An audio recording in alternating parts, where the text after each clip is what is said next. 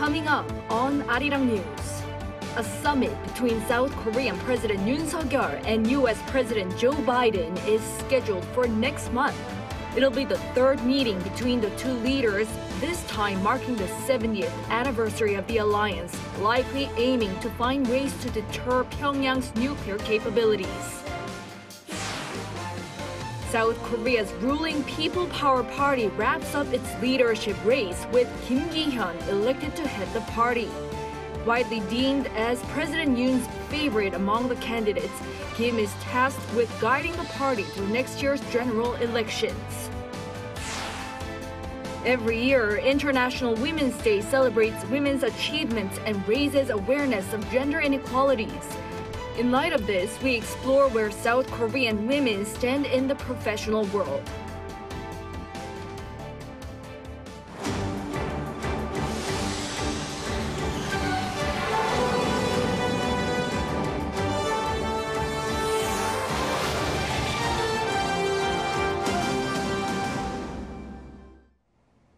Good evening. It's 9 p.m. here in South Korea. Thank you for joining us on Arirang News.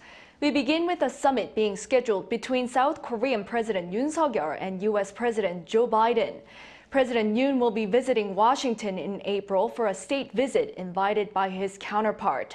It'll be the third meeting between the two leaders, this time marking the 70th anniversary of the alliance. Security and economy will likely top their summit agenda. Our presidential office correspondent Oh Soo-young leads us off. President Yoon Suk-yeol is set to hold back-to-back summits with the leaders of the United States and Japan in the coming weeks, accelerating efforts to jointly address security threats, including North Korea, and economic challenges. Seoul's top office said on Wednesday that Yoon will visit Washington, D.C. next month, marking the first South Korean state visit to the U.S. since 2011.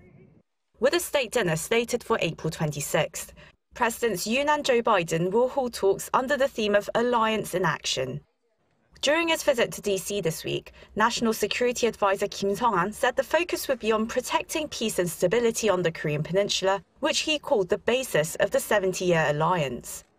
Kim said the leaders would seek ways to qualitatively strengthen the allies' capability to offset North Korea's nuclear weapons, noting that the US has reasserted its commitment to extended deterrence, with joint military exercises and the deployment of various US strategic assets as a measures to build trust.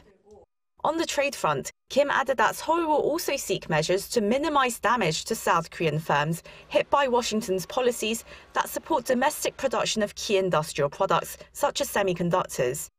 Other agendas for the two leaders are cooperation on advanced technologies, economic security, and people to people exchanges, taking the alliance further beyond the realm of military ties.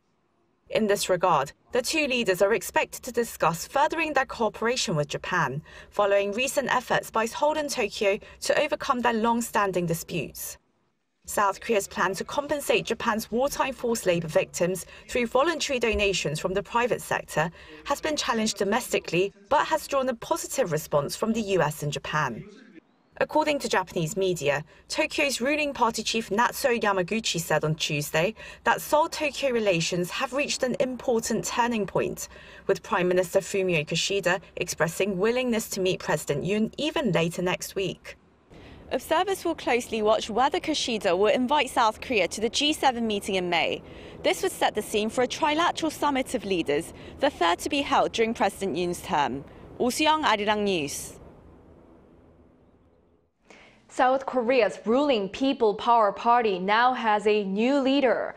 Lawmaker Kim Gi-hyeon, who was widely deemed President Yoon's favorite candidate, will be tasked with guiding the PPP through next year's general elections. Our National Assembly correspondent Han Sung-woo was on site at the party's national convention and files this report.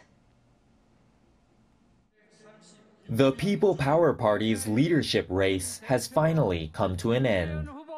On Wednesday, at the ruling party's national convention in Goyang City, National Assembly member Kim Gi-hyeon was announced the winner, claiming a majority of some 460,000 votes registered party members cast either through their mobile devices or automated phone calls over a four-day period that ended on Tuesday. The 55.1% turnout rate was a record high for the party. The former mayor of Ulsan City, who had widely been considered the frontrunner, won 52.93%, a majority of the ballots, eliminating the scenario of a runoff vote that would have taken place on Friday and Saturday. Let's unite as one and sweep next year's general elections. The authority held by a party chairman is not a right, but rather a duty and responsibility. In the end, runner-up An Cheol-soo finished the race with 23.37% of the votes, failing to challenge Kim in a one-on-one debate, which was scheduled to take place on Thursday, had no candidate won a majority.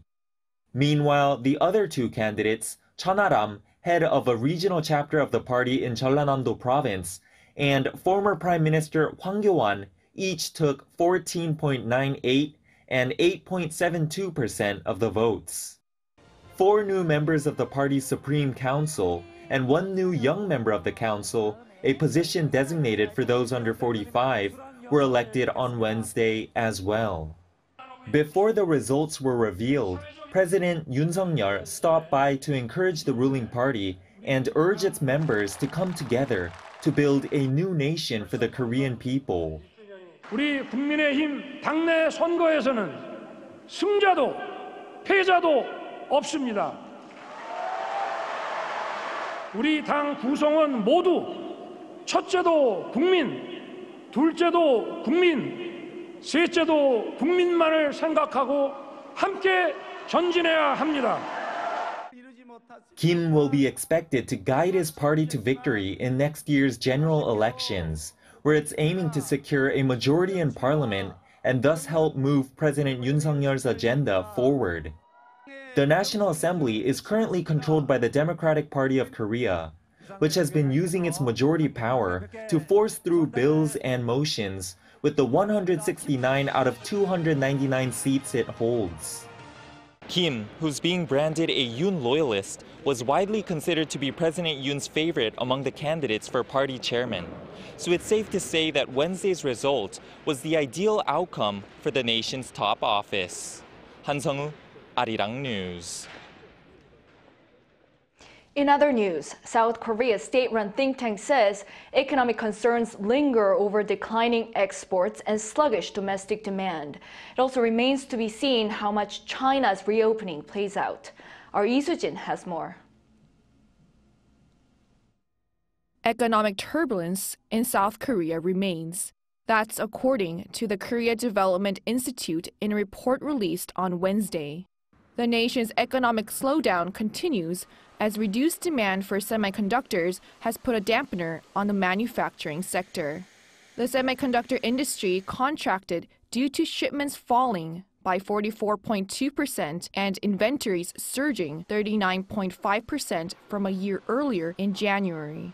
Growth in overall production was down 0.8% in January, reversing from a rise of 0.7% the previous month. Slow retail sales and service sector production suggest weak consumer spending. Retail sales remain sluggish as sales of durable goods such as home appliances, communication devices, and computers fell. Production in the service sector slowed from 6.7% to 5.9% in January because of declines in accommodation and food services, as well as financial and insurance services.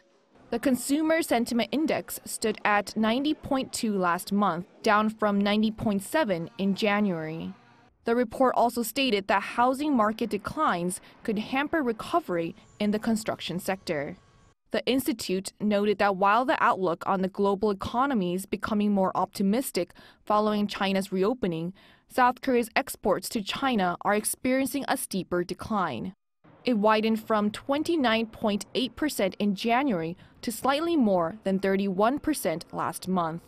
Despite disruptions and the global supply chain easing, major countries such as the US and the UK are still experiencing elevated core price inflation. Lee Sujin, Arirang News.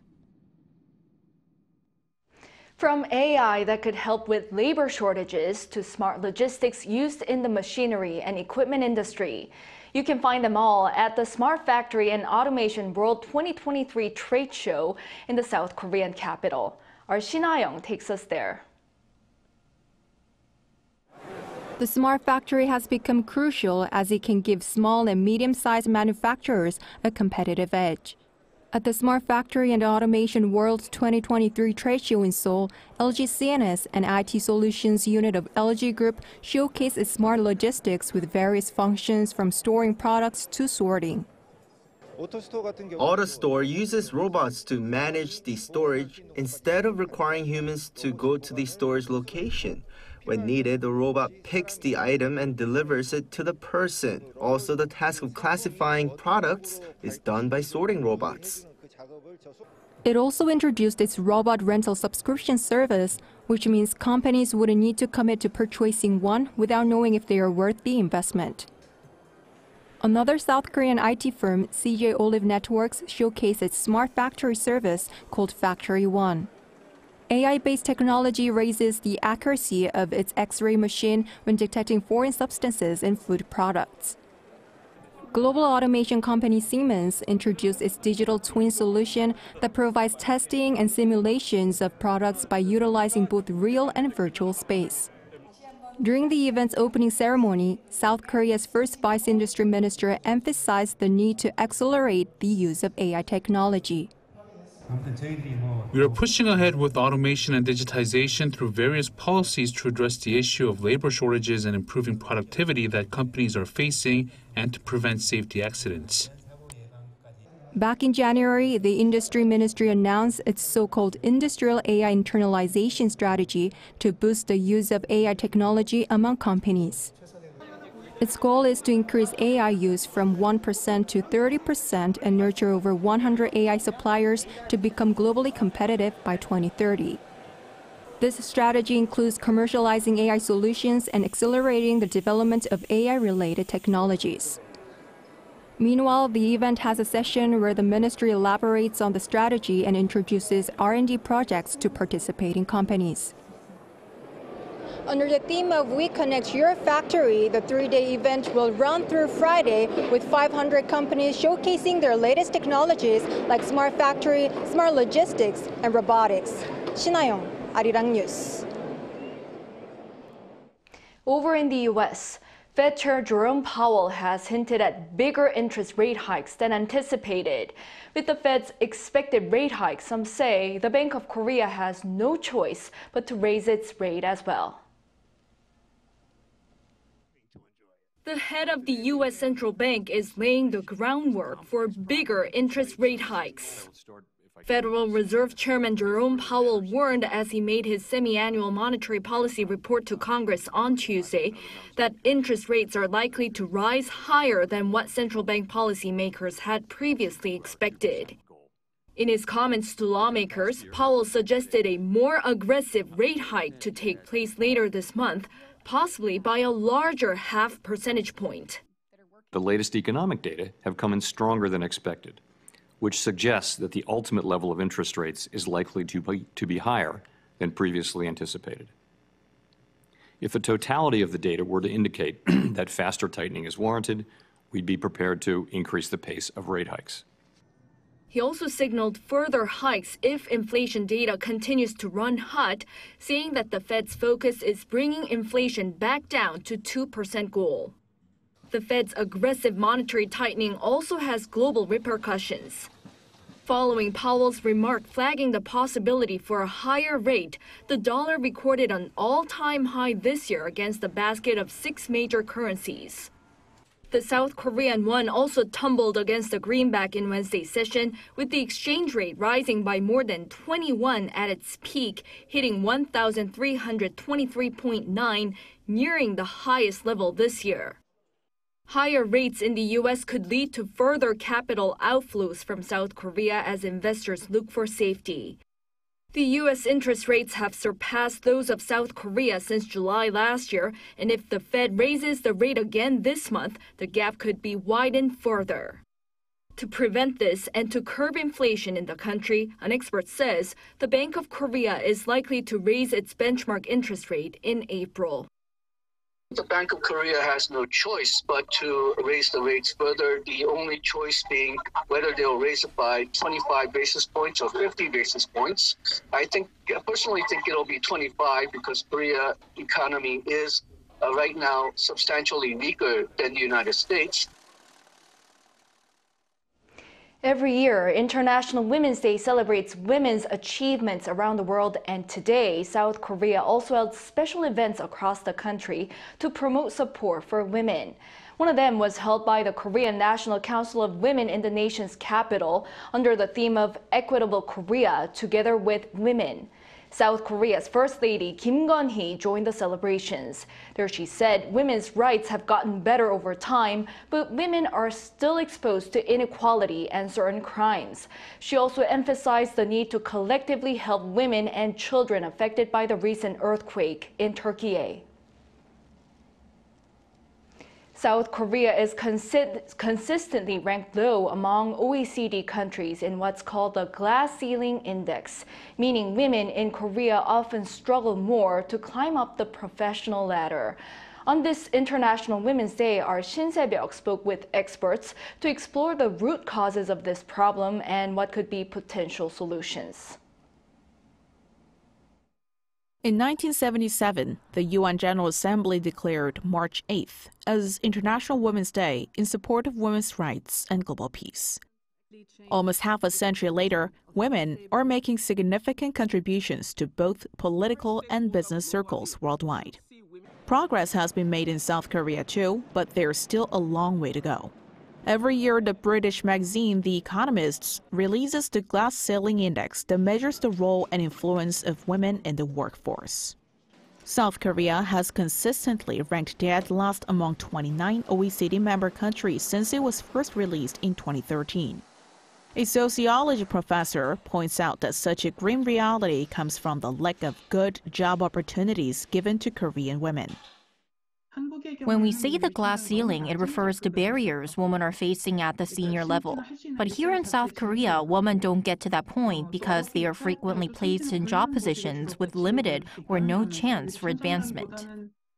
She also says the old stereotype against women as caretakers at home leads to a vicious cycle that restricts women from pursuing leadership roles.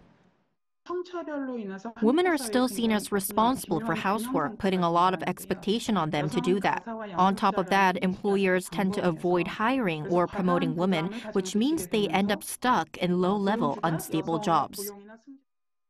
While the expert calls for active government intervention, she adds that too many women friendly, more specifically, married women friendly workplace policies, such as extending maternity leave, could become a constraint in the long term. And such criticism was also echoed by a legal expert. When companies or governments announce gender equality policies, unmarried women or male employees tend to only focus on the benefits that they are not eligible for, and this could cause backlash for married women. The lawyer also suggested when it comes to legal efforts for gender equality at workplaces, incentivizing change may be more effective than imposing penalties. As a fundamental solution to breaking the glass ceiling, both experts say continuous education aimed at raising awareness for women's empowerment can bring about real change. Shin Se-byuk, Arirang News. In the sports arena, the 2023 World Baseball Classic is returning after a six-year break with four groups of five teams competing in four different locations. That being said, Team Korea is in Tokyo for its first match against Australia this coming Thursday. Our Choi Soo-young has more. Team Korea is all set for the World Baseball Classic. They had two practice games against Japanese pro baseball teams Orix Buffaloes and Hanshin Tigers on Monday and Tuesday. Despite losing 2-4 against Orix, they beat Hanshin 7-4, giving Team Korea a confidence boost ahead of their opening WBC game. The 2023 World Baseball Classic features 20 teams divided into four pools of five. Team Korea is in Pool B, which is based in Tokyo. They will face Australia, Japan, Czech Republic, and China. The Korea Baseball Organization and head coach Lee Gang-chul announced their roster on January 4th. Team Korea includes 15 pitchers, 2 catchers, 8 infielders, and 5 outfielders. According to KBO officials, it boasts Korea's strongest WBC lineup ever, with several former and current major leaguers. The two major leaguers, St. Louis Cardinals infielder Tommy Hyunsu Edman and San Diego Padres infielder Kim Ha-sung, are expected to bring synergy to the team. U.S. magazine Baseball America last Tuesday named three Korean players among its top 10 prospects for the tournament. Last season's KBO MVP Lee Jong-hoo was fourth on the list, along with first baseman Kang Baek-ho and second baseman Kim Hae-sung. Team Korea has its first match against Australia at Tokyo Dome on Thursday at midday Korea time. And on Friday, Team Korea takes on local rival Japan at 7 p.m. Head coach Lee says his aim for now is to reach the semi-finals, which will be played in Miami. Many people say Team Korea is in a crisis, but I will use this as an opportunity to play as many games as possible with the team roster filled with young players and veterans. Only the top two teams in each pool advance to the quarterfinals. Team Korea will be hoping to do better than 2013 and 2017 WBC tournaments when they failed to reach the quarterfinals. Choi Soo-hyung, Arirang News. South Korea is ramping up efforts to host the World Expo in 2030 in its second largest city, Busan. On Wednesday, the Expo's bid committee signed a memorandum of understanding with Busan city government and South Korean conglomerate Lotte Corporation. They'll join hands to prepare for an on-site visit by the Expo's organizer, the Bureau International des Expositions in April, as well as to raise public awareness of Korea's efforts to win the bid. The bid committee added that it'll work closely with both the public and private sectors until the host city is named in November. South Korea is competing against Italy, Saudi Arabia, and Ukraine. The world's second biggest Ferris wheel is going to be built in South Korea. The Seoul city government on Wednesday announced that the Seoul Ring, as it's been named, will be completed by the end of 2027 with the aim of making it a global attraction. The Seoul Ring will be 180 meters in height, but it won't have spokes like a regular Ferris wheel and will be operated with renewable energy. It'll be built in Haneul Park in Seoul's Mapogu district. City officials said the park was chosen as a gateway to Seoul and is closely located to North Korea, representing people's desire for harmony and unification. The biggest Ferris wheel in the world is in Ain Dubai in the United Arab Emirates. As firefighters continue their battle against the wildfire in Hapcheon, Gyeongsangnam-do province, the Korea Forestry Service has issued a level 3 wildfire warning, the second highest level in its four-notch system. The warning came at 5:30 p.m. on Wednesday after the fire reportedly started just before 2 p.m.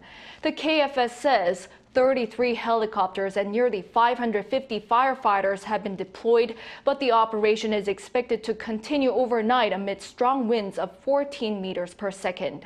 The zone affected by this fire is reportedly around 123 hectares. As of now, 210 people have been evacuated from their homes. President Yoon Suk-yeol ordered relevant authorities to work at full capacity to make sure the fire is put out as soon as possible.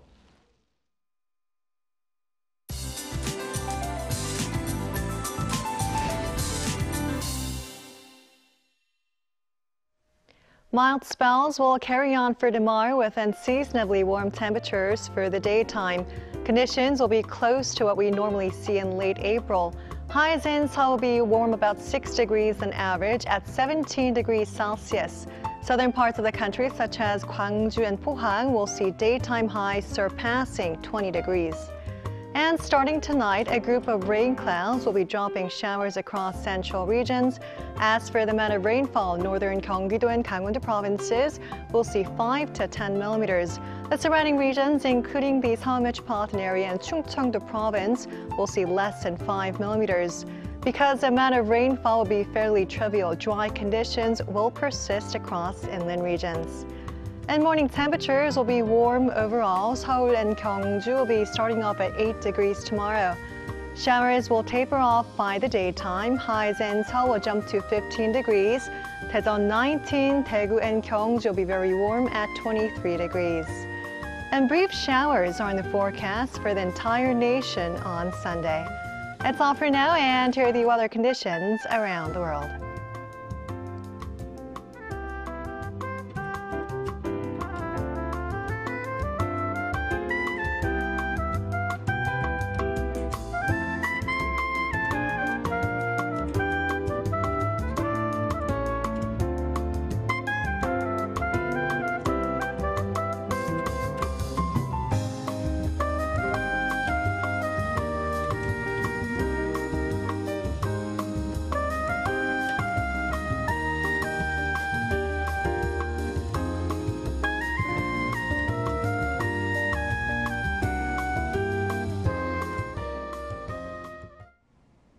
That brings us to the end of the newscast. Thanks for watching. We'll be back with the latest news tomorrow.